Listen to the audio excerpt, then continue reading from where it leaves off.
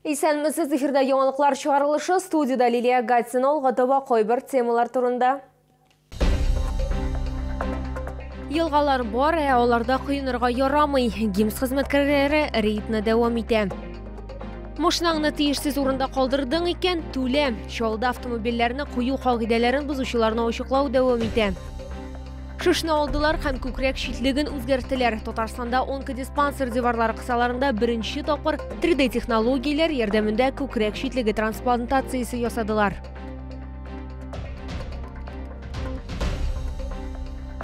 Йорчолыда бор җыелмасы продуктларына бәяләр төште. Кайбер яшелчә хаклары 10%ка кимегән, ә кайбер товарларга бәяләр киресенчә арта. Беренчел әһәмиятле азык-төлекне күпмегә алырга була. Бу хакта материалда.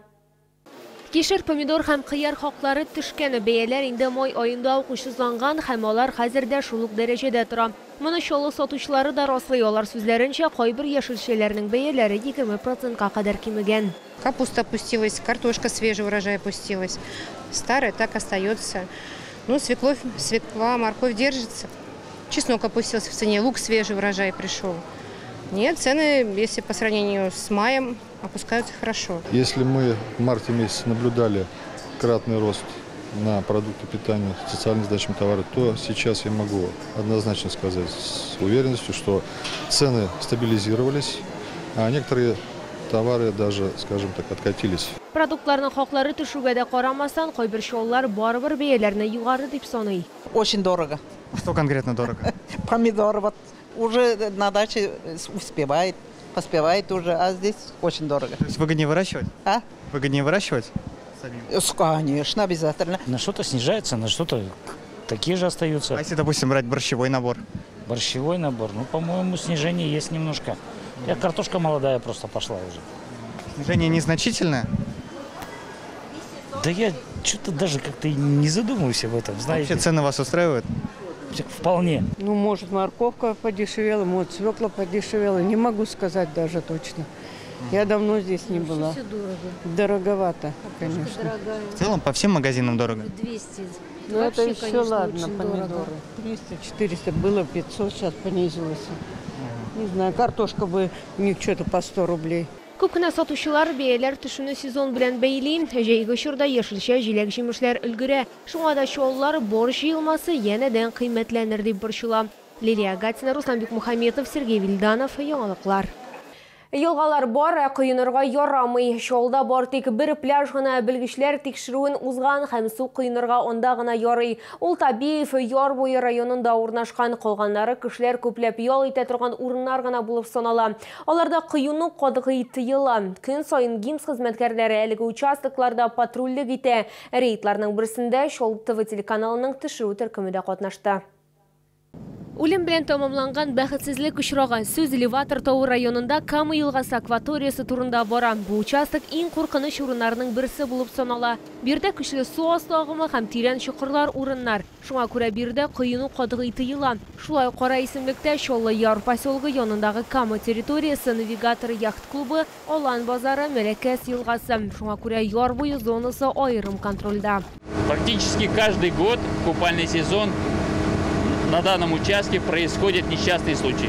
Санкцияләнмәгән пляжлар кыюну өчен билгеләнмәгән ГИМС хезмәткәрләре сүзләренә караганда, су төбендә металл әйберләр, бетон плитәләр һәм башка бик күп нәрсәләр булырга мөмкин. Текә ярлар күп берничә метр узуга зур тирәнлекләр һәм көчле агым.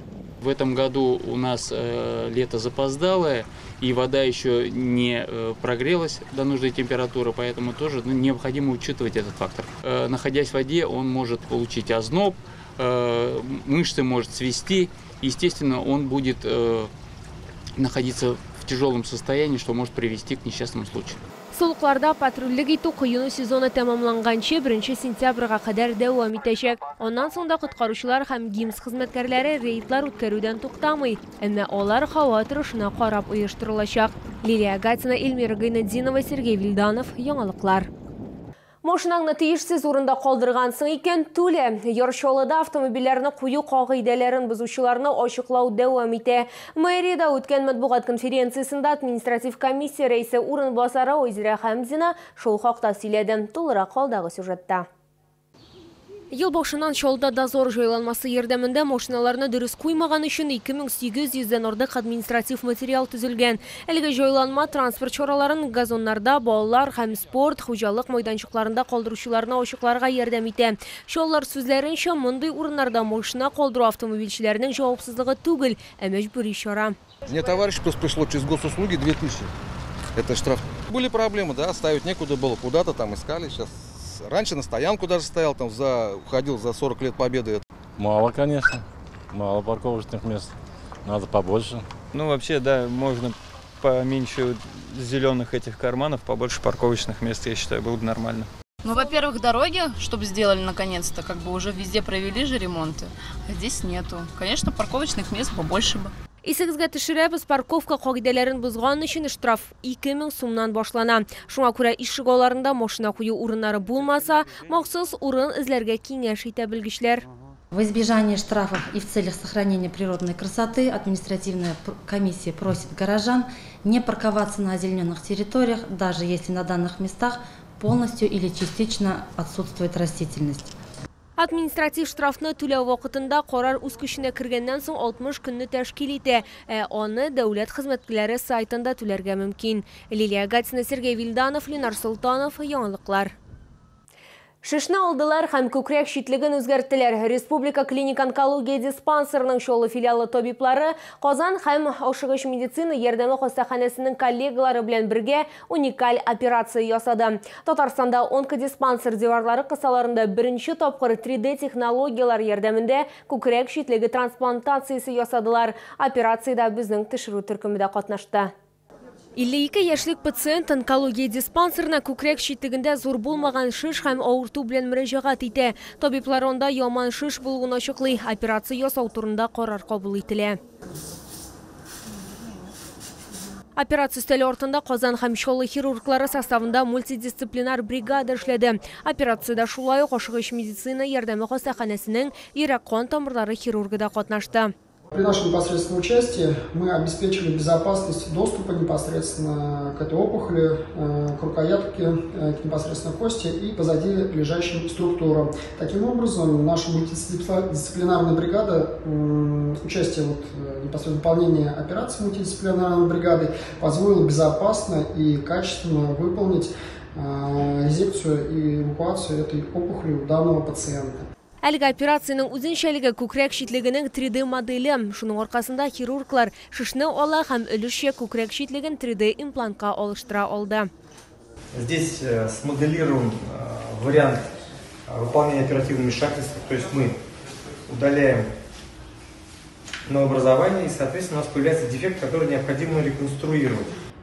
Вот этот напечатанный 3D имплант позволяет реконструировать грудную клетку, восстановить каркасность, функцию жестко, внешнего дыхания, жесткость, подвижность верхнеплечевого пояса, то есть активность пациента. Татарстанда күкрәк шитлеген яңарту буенча уникаль һәм катлаулы операция беренче тапкыр үткәрелде. 4 сәгатьлек операция уңышлы узды. Хәзер пациентны узак вакытлы тернәкләндерү көтә. Лилия Гатина, Ленар Султанов, Яңалыклар.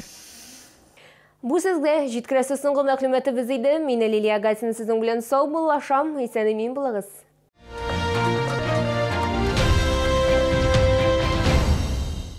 Приумножьте свои личные сбережения с КПКГ «Господдержка». Ставка 18% годовых. Выдаем займы с использованием средств материнского капитала. Набережные Челны, Новый город, 107. Диагностический центр ТАТ-клиник оказывает весь спектр услуг на магнитно-резонансном и компьютерном томографах. Набережные Челны, 78 03 03.